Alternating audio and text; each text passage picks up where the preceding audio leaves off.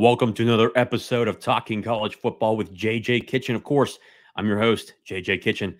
Guys, before we get into the hot topic today, some interesting news came up about Stanford and Cal, even SMU still in the running. But before we get into it, guys, subscribe to the channel right down below here. Like the video, comment, share with your friends. The conversation we've been having on a number of videos in terms of conference realignment has been incredible. And the content and the channel continues to grow because of you guys and the information that we give out on a day to day basis.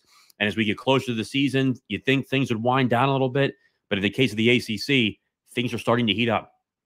Well, guys, in today's video, we're going to be talking about ACC conference realignment. Obviously, the ACC, my home conference with, with obviously the University of Pittsburgh.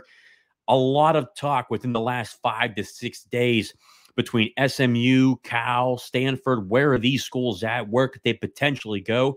It's crazy. Four days ago, uh, if you guys haven't been caught up yet, four days ago, really, Cal, Stanford, and SMU were really in the running to go into uh, the ACC outlandish things. One thing that we have confirmed is that uh, a school such as SMU, obviously the alum of George W. Bush, a guy that's actually, and the crazy thing, the political aspect of this has been coming crazy to say the least.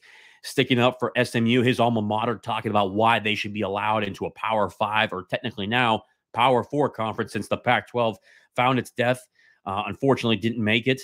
Um, but why SMU should be in there but also too Stanford and Cal, two institutions, great institutions on the West Coast in terms of academics. Um, but when football wise, maybe not as great.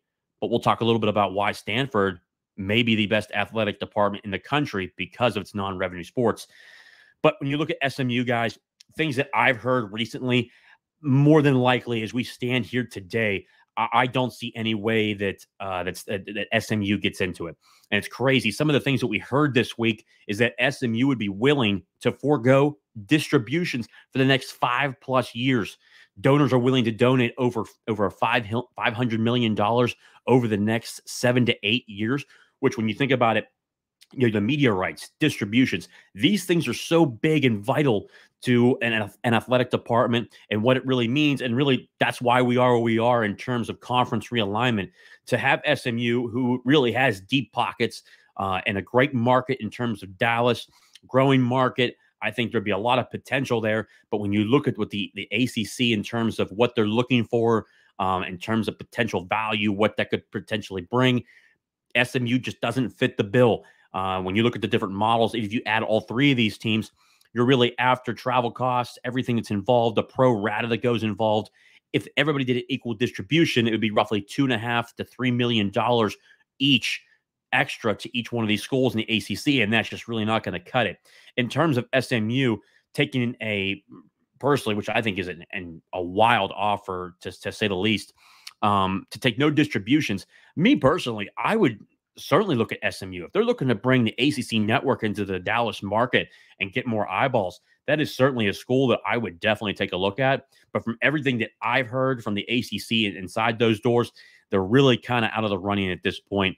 Um, and SMU is kind of in the the struggle point of where can they get ever get into a Power Five conference ever again? It seems as if that question will continue to ride on.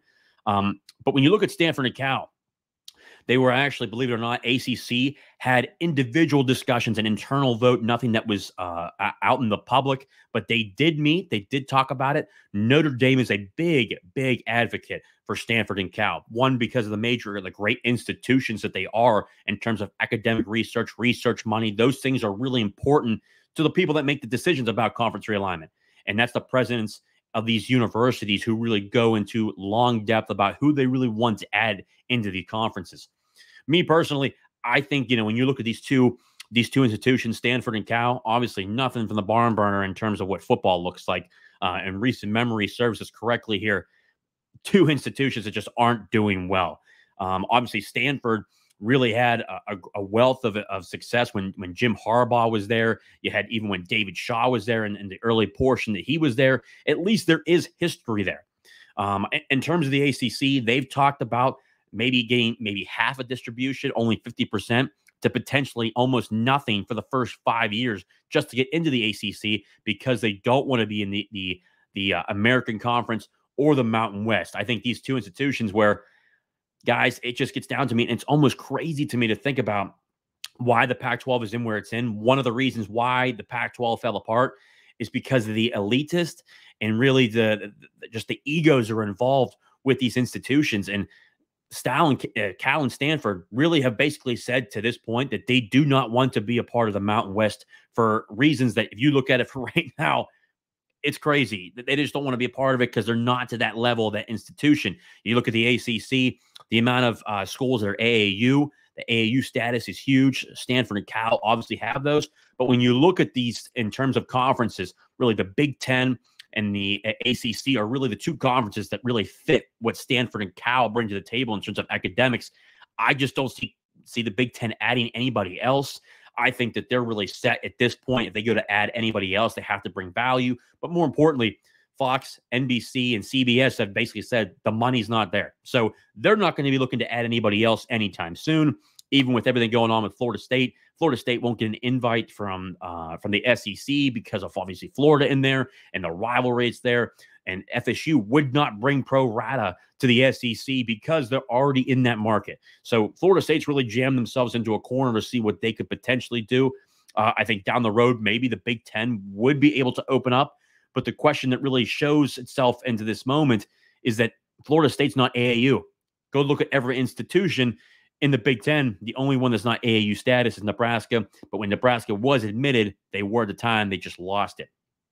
In terms of the ACC, I think that the way this is going right now, I would say about roughly two days ago, three days ago, I would say about about a 30% chance, 20% chance that Stanford and Cal would join the ACC. But the fact that now Condoleezza Rice, uh, a major political figure, uh, someone that's brought a, a, lot of a lot of power into in terms of this, with the political power, what they're looking at, uh, a lot of relationships into this.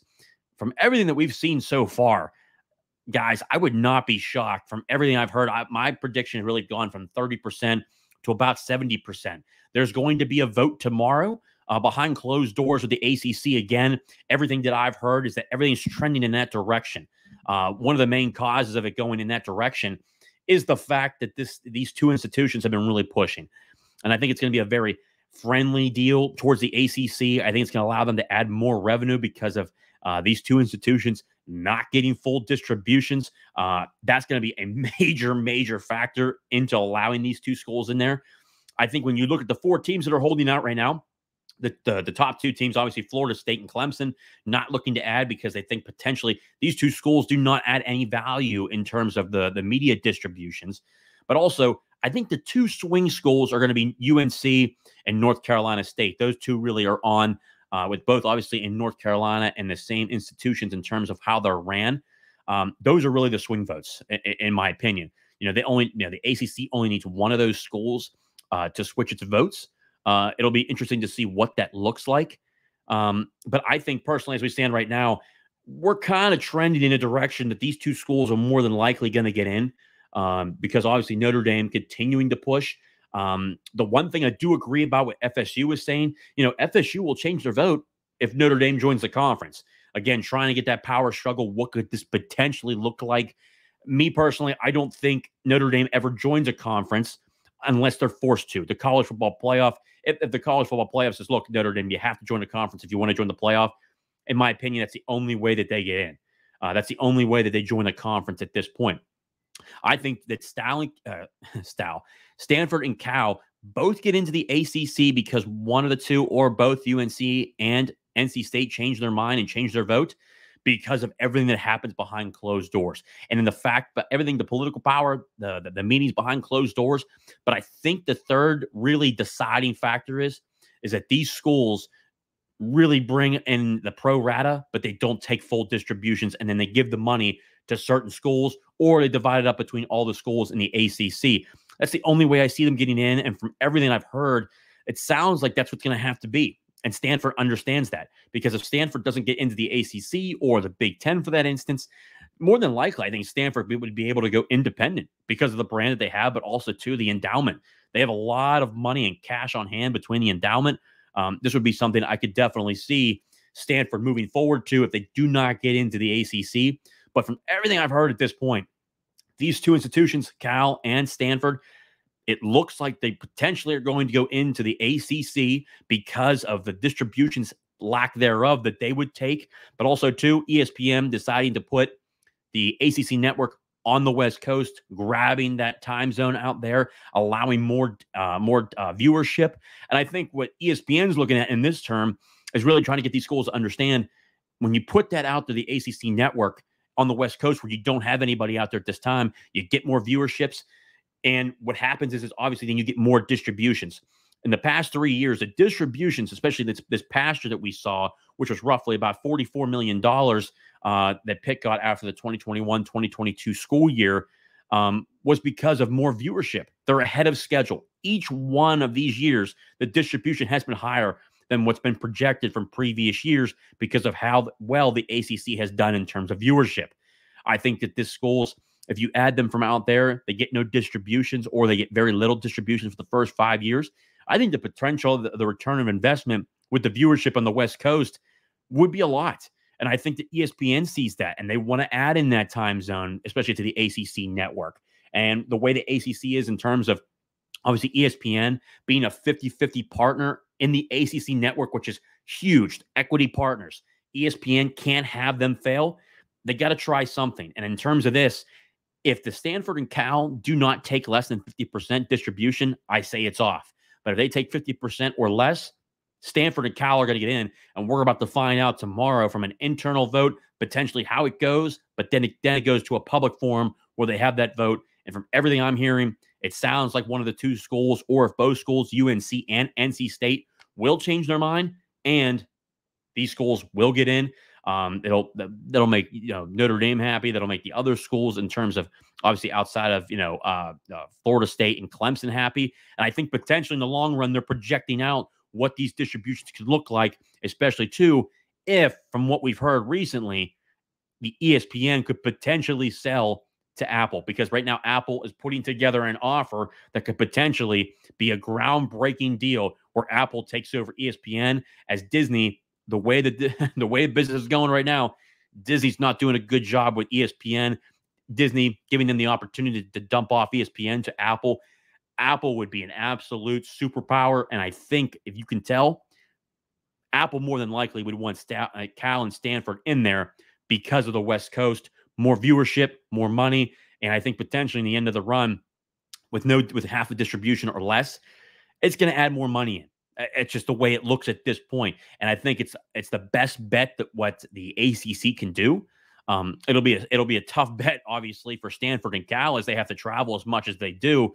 But we'll see as, as how this goes in terms of where does the ACC go after that? Did they, did they try to potentially poach if they add more value? That's going to be the next question: Is the dominoes fall? What does what is currently happened to ESPN, and does this really escalate in terms of okay, uh, Cal and Stanford coming in to the ACC, and then what happens with ESPN? So it'll be fun to see what happens with Cal and Stanford how this goes, me personally, I have both institutions coming into the ACC because of what has happened and transpired in the past couple of days, but we shall see.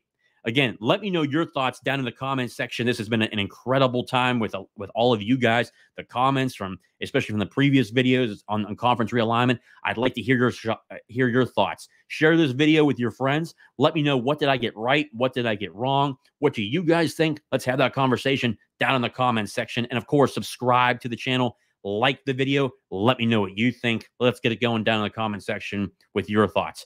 Again, guys, as always, Thank you guys so much for tuning in. And of course, as always, hail to Pitt. And I'll see all you ACC fans down the road. Until our next video, enjoy yourself, guys. See you soon.